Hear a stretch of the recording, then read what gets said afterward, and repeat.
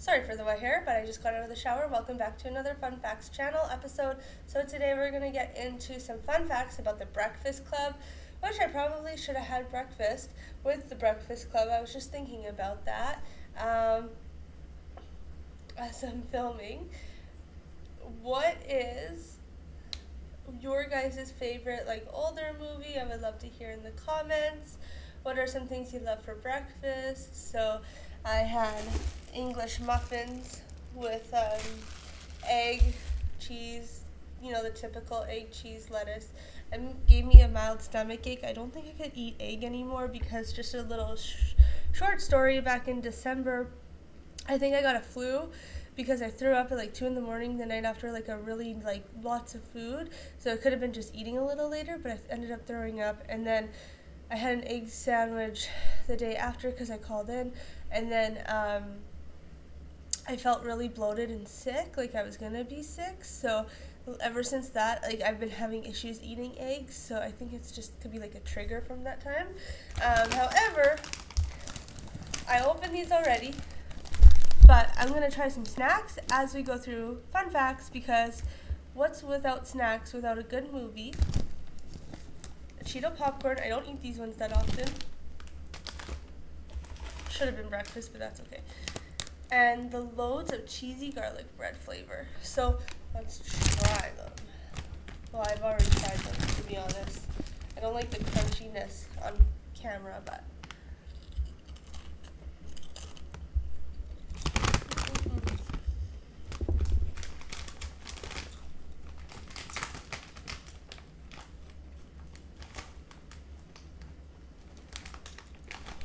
I was worried you would taste a lot of Parmesan too, but you really don't. You taste a lot of garlic. It almost reminds me of sour cream and onion. Very similar taste. And for these ones. Mm-mm-mm. I like these ones. These are a little less sharp. The garlic one has a stronger taste, I find, so I kind of like these ones better. Uh, I don't know if you could compare the two, but I'm doing it anyways. So, anyways, while we're while I'm munching away here, let me know in the comments what like your favorite older movie is, or your favorite movie growing up. If you grew up with The Breakfast Club, if you like The Breakfast Club, I would love to hear it. Let's get into some facts.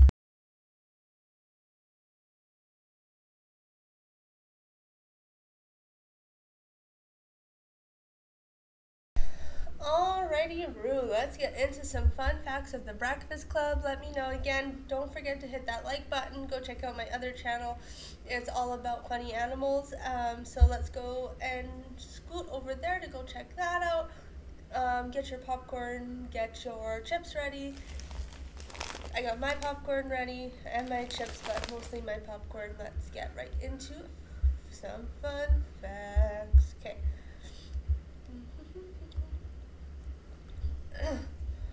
Number one, one of the Breakfast Club scenes was improvised.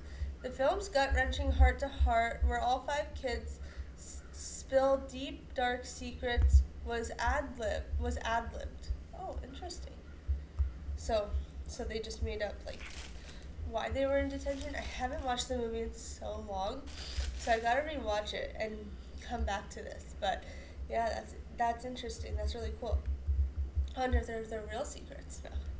Number two, The Breakfast Club was supposed to be the first movie in a new film series. The movie was initially conceived of as a franchise starter, with subsequent entries checking in on the characters.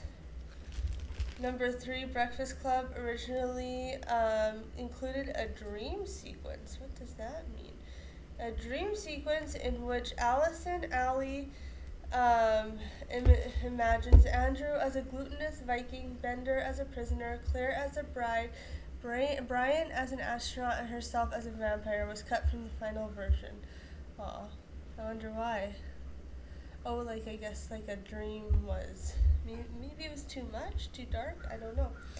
Anyways, okay. Number four, The Breakfast Club was originally featured a scene between two of the school's teachers, another scene that featured a pair of high school teachers Dr. Lang, a social studies teacher, and a gym teacher, Robin, was also chopped from the final version. Um, number five, the Breakfast Club's janitor, Carl, had once been a star student at Shermer High School. Uh, as a student, Carl, the janitor, was Shermer's high, High's Man of the Year. Oh, that's neat. Number six, Rick Moranis was originally cast as one of the Breakfast Club key characters. Rick Moranis was originally cast as the janitor in the Breakfast Club, but was eventually replaced due to creative differences. He wanted to play the part as an over the top Russian stereotype. The role was ultimately played by John Kapelos. Um, number seven, The Breakfast Club's actor took a Broadway like approach to rehearsals. The film was rehearsed in a manner more similar to that of stage plays. Number eight, Emilio Estevez was originally going to play the Breakfast Club's bully. Emilio Estevez was originally slated to play Bender, but Hughes couldn't find anyone else who was right for the Andrew role, so Estevez ultimately switched and Bender gig went to Judd Nelson. Number 9, Molly Ringwald was originally asked to play Ally Sheedy's role. Similarly, Molly Ringwald was first asked to play Allison, but she wanted the Claire uh, role named Kathy in the first draft of the script. Hughes eventually let her have it. That's awesome. I'll be honest, I didn't know Molly Ringwald was um, a big star, like back in the 80s or whatever. Um, mostly because I've seen her in um, the Secret Life, The Secret Life of an American Teenager. Um, that's where I kind of first saw her in, and then I noticed she was in other things, and then I watched The Breakfast Club, and I was like, oh, she she must have been a big star back then, and I think she was. Um, probably st- and still is to this day. Don't get me wrong, but it's it's just funny how you find things out after you've watched them on something else. Like Goldie Hawn is another one too. Um, I can't remember what I've seen her in, but I know she was a big like like she's a big star. Her daughter's a big star. Her daughter runs Fabletics. Anyways, number 10, a lot of now A-listers auditioned for the Breakfast Club. Other actresses that could have played Claire, Robin Wright, Jodie Foster is another one. I watched her in The Silence of the Lambs, and maybe I'll do a fun facts on that one. And Laura Dern, who all auditioned for the part. Meanwhile, John Cusack was con- considered for the role of Bender, as was Nicolas Cage. He would have been good too. John Hughes made a cameo in The Breakfast Club. Another parent to look out for, Hughes, who had cameo roles as Brian's fa- father at the end of the film. Number 13, or sorry, uh, the next one here, Cheese stood in for the snow. In all she- she- Sheedy's hair in the Breakfast Club, Allison's dandruff, which she sprinkles to make it snow, was made of oh Parmesan cheese. No way would I be able to stand that smell. I would be not breathing while talking, and people would be like, "What? You're fired, basically." no, thank you. Not in a day would you caught me doing that. Ugh. Couldn't you find like fake snow somewhere else? Like couldn't you make it that like more like ooh, how is that how is that okay? It's nasty. That oh sorry, oh my god. Okay, moving on. Let's move on to the next one over here. the Breakfast Club location is a familiar one to John Hughes fans, like a number of other Hugh films, including Weird Science, Ferris Bueller's Day Off, 16 Candles, Pretty in Pink, and National Lampoon's Vacation. The film is set in the fictional Chicago suburb of Shermer, Illinois. I've never watched Bueller's Day, the Fer- Ferris Bueller's Day Off until like I think it was like uh, quite a few months ago. My boyfriend was like, "What? You've never seen that?" Like yeah, no, I have never seen it. I've never seen 16 Candles. I haven't seen Pretty in Pink, Weird Science. I've seen National Lampoon's Vacation. Depends on the one you, you are talking about here. Um, so maybe I'll do some more. There's so many facts about these and so many cool like Easter eggs about um, these channels here. Not all of the Breakfast Club's cast members were quite high school aged. Judd Nelson was the oldest cast member at the time filming. He was 26. I want to. Is it because you have to be 18 plus to basically be like a full time actress or actor? Because I always was wondering about that. Like people in High School Musical, they they were 20 in their 20s when they played 16 year olds. Why is that? Do they still look like they're 16? Weird. What is that noise? That was weird noise, eh? Sorry, I heard some weird noise. It was like in the dishwasher, so I hope everything's okay. Okay, next one is all Sh- Ally Sheedy didn't speak until a third of the way through The Breakfast Club. She doesn't speak for the first 30 minutes of the film, which has 97 minute runtime. I wonder why. I can't remember why. Let me know if you know why. Maybe I'll do a little quiz at the end. Okay. Um, okay, let's see here. Next one, it was originally proposed that there would be periodic sequels to The Breakfast Club. Checking in, oh yeah, we read that. During some opening shots of the high school, a well, a wall can be seen with the phrase "I don't like Mondays" carved into it. This is a reference to a 1979 shooting in San Diego in which a 16-year-old Brenda Spencer killed the principal and a custodian and injured eight students at an elementary school across the street from her home. When asked why she did this, she said, I don't like Mondays. This livin- livens up the day. Okay, I want to read this now. Brenda. Wow. Yeah, let's read a little blurb of what she did, why she did it. So by this, she by this she was referring to the fact that she had just fired 30 rounds of ammunition ammunition into the Grover Cleveland Elementary School in San Diego, California, using a semi-automatic rifle. Okay, just so you guys know, this is a trigger warning, which I should have mentioned before. After unaliving the school's principal and custodian and wound, wound, wounding eight children and a first responder, Brenda Ann Spencer barricaded herself in her room for more than six months, six hours until she finally surrendered herself to the authorities.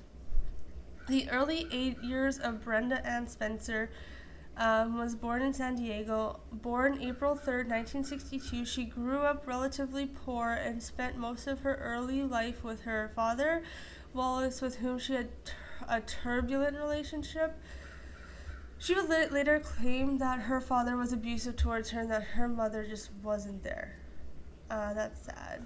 Wallace was an enthusiastic gun collector, and his daughter appeared to share his interest in this hobby early on, according to acquaintances who knew Brenda Spencer. She also dabbled in drug use and petty theft as a teenager. She was frequently absent from school, but whenever she did attend class, she raised eyebrows a week before she carried out the pew pewing that would be make her infamous. Brenda Ann Spencer allegedly told her classmates that she was going to do something big to get on TV. Unfortunately, that's exactly what happened. The horrors of the 1979 Grover Cleveland Elementary shooting on the morning of January 29, 1979, children began to line up outside Grover Cleveland Elementary School in San Diego, California. They were waiting their principal to open up the school gates. Across the street, Brenda Ann Spencer was watching them from her house, which was filled with empty whiskey bottles and a single mattress that she shared with her father. She had skipped class that day and later claimed that she had washed her epilepsy medicine down with alcohol. As the children lined up outside of the gate, Spencer took out the 22 semi automatic rifle and that she'd received a Christmas gift from her father, then aimed it out in the window and began firing at the kids. The principal of the school, Burton Wragg, was killed during the attack. A custodian, Michael, was killed. Oh my god. For wow, okay, I want to see the imprisonment. That's what I wanted to read of Brenda Ann Spencer. In the aftermath of the attack, it was revealed that Brenda had shot at the school one year earlier with a BB gun. Though she damaged the window, she didn't hurt anyone that time around, but she had been arrested for that crime as well as burglary, but ultimately received probation just a few months after the gun in, the BB gun incident. Spencer's probation officer has suggested that she spend some time in a mental hospital for depression. But Wallace Spencer reportedly refused to admit her, claiming that he could handle his daughter's mental health issues on his own. Instead, he purchased a, the weapon that his daughter would later use to target the school. I asked for a radio, and he bought me a gun. Brenda said, "I felt like he wanted. I wanted. I felt like he wanted me to unalive myself." So the teen's attorney considered pursuing an insanity plea, but it never came to fruition. And although Brenda Spencer had only been 16 at the time of the shooting, she was charged as an adult due to the severity of her crimes. As reported by the San Diego, she pleaded guilty to two counts of murder in 1980, and although nine counts of attempted were ultimately dismissed from the case, Spencer was sentenced to concurrent terms of 25 years to life in prison for her crimes. Her attorneys continue to argue that the treatment she received from her father was allegedly um, included S A um, SA was there was like AB like SAB was the real reason for her actual senseless violence. So that's pretty interesting. I've never, um, to this day, six year old Brenda remains locked up in the prison, California Institution for more Women in Corona. I was always just really interested in like true crime, but um, that's re- that's actually quite interesting to see that that's where the um, movie was taking place. So I can't believe that that even happened. That's a wild story. I'm sorry for all the victims that had happened to. Um, good thing she's spending the rest of her life in prison.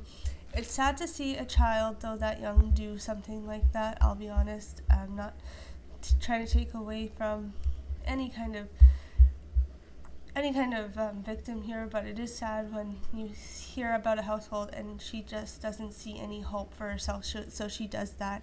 And obviously, there was, I don't know, obviously, I shouldn't say obviously, there might have been some like jealousy or, you know, just she was hurt and depressed. Okay.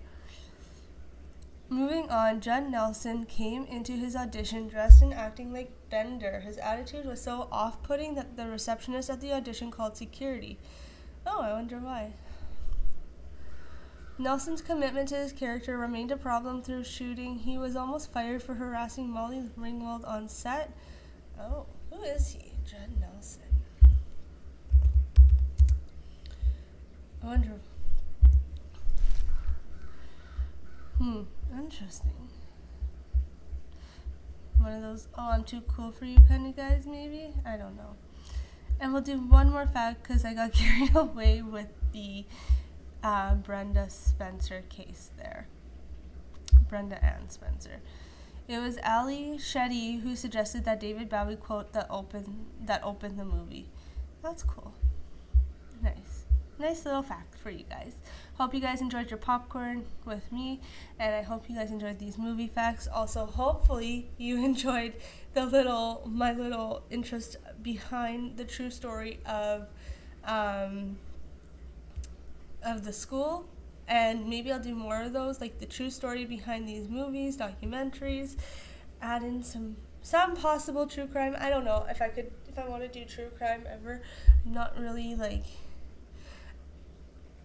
I like I'd rather listen to it than do it in that sense kind of thing.